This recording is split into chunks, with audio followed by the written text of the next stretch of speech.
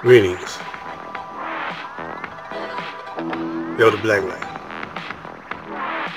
Now, the previous video was called uh, Open Up Your Third Eye.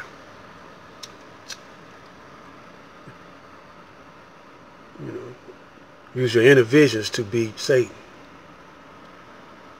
Everybody not going to be able to open up their third eye that run across this video. But the melanated people, the carbon melanated people, also known as black people, brown people, are going to be the ones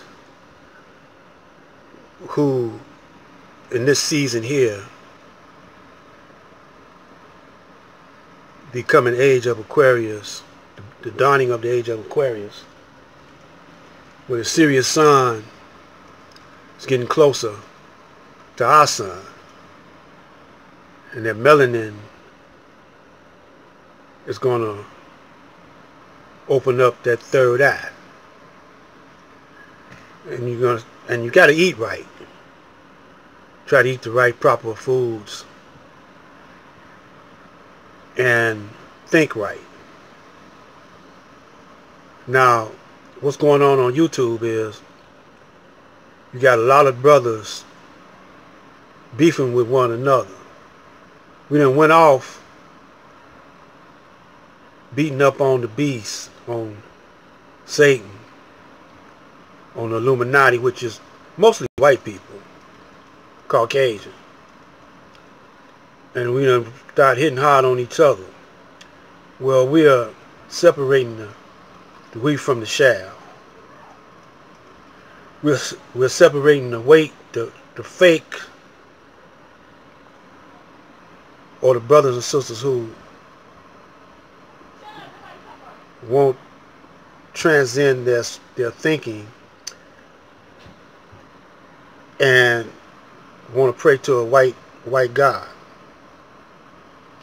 This right here is the Council of, of uh, Nicaea. And this is where they changed the Bible up at. Use trickery. This is where the Jews merged in with the Christians. You notice that the Christians and the Jews don't have no problems with one another too much. The Catholics and the Jews, they don't have no problems. Matter of fact, in the United States, they they uh, send uh, Israel, the Zionist Israel, money all the time. Big money. I ain't talking about no little chump change. And the money's coming off the backs of the grassroots. But the Caucasian white white guy, he don't have no problem with it. Now you know the uh, Ku Klux Klan They don't like the Jews. Because they knew the Jews was going to take over, take over the running of America. Like they did over in Spain. The Jews took over the running of Spain and so the Christians started hooking up them inquisitions. But the Jews were so slick that you know they, they say they changed their name, but they didn't change their game. They changed their name to Christians. So they wouldn't get, you know, slaughtered, tortured. But the Moors by them being black, you know, it couldn't change up. You know, because the Moors was running the joint first. So the uh, Jews merged into the the Catholics Now, how did all that happen? Well, you know, the Library of Alexandria, when they, uh, the Greeks and the Romans acquired their knowledge,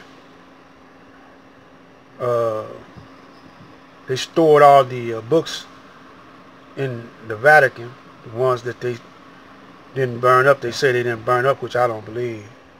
But now you got three city-states, independent countries running the whole planet. The Vatican, London, London, the country of London, and now you got uh, uh, the United States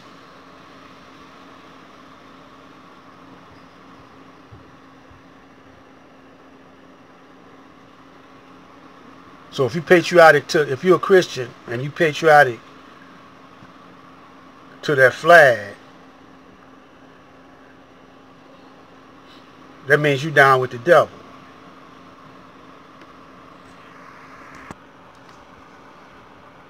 Now, this right here is Nevada, the Vatican. This right here is the London District of Columbia, D.C., but really, you know, it's the it's the whole United States. You know, but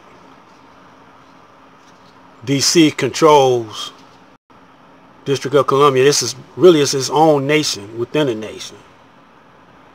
You see? And when Elijah Muhammad, young Elijah Muhammad was talking about being a nation within a nation, he was trying to show the black the black man and woman that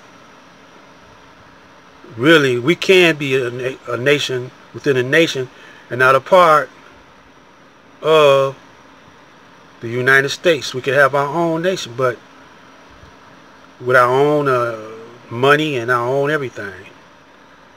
This is the reasons why they're having a hard time with uh, uh, Islam being over in the United States because Islam runs by Sharia law, see. But the main thing is the money system. They don't have interest in the money. And this is the main thing. So, but then other Muslims like Turkey and and uh, Saudi Arabia and Syria and Iran just trying to hold on to a real Islamic uh, Sharia law. But uh, the rest of the rest of them, you know, the rest of the uh, Muslim countries are dealing with or bowing down to the empire of the cities. Now, I heard a brother say that uh, Nation of Islam wasn't real Muslims. Well, not no more. They, you know, we're going to get into this. I'm going to really explain what's really going on. The original Muslim is, a, is the black man the original man. He's the original Muslim. He's the original Christian. He's the original Hebrew.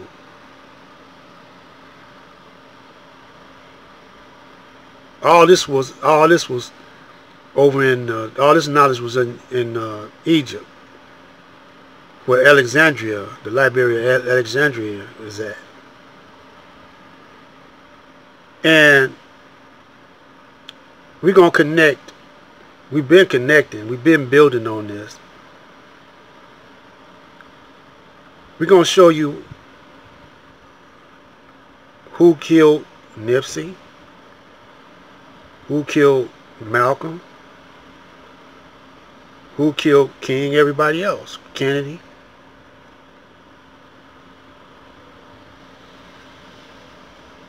And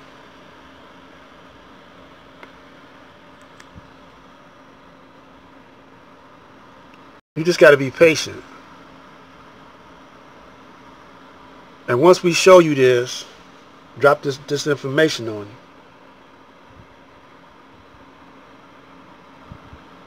Can't nothing stop your third eye from being open. And we'll run that on you on a, a later day too. But you got to know who your enemy is. And you got to know the kind of wisdom they working with in order for you to cut the head off of your enemy.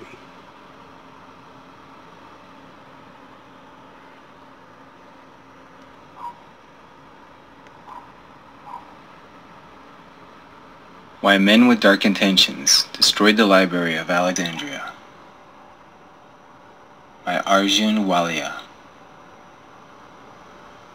Ancient civilizations are a fascinating topic, and it is clear that we have so much to learn from them when it comes to our way of life, our health, our technology, science, nature, consciousness, and the nature of reality itself. Understanding these rhythms and cycles of time helps us to understand that our modern civilizations are not the first to emerge, nor are they necessarily more advanced than the previous ones that have come and gone. Be it information in the form of written texts or advanced ancient structures, like the Kailas Temple, one of 32 cave temples and monasteries located within the Ellora Caves in India. Their knowledge, how they acquired it, and how they constructed their masterpieces remains a complete mystery.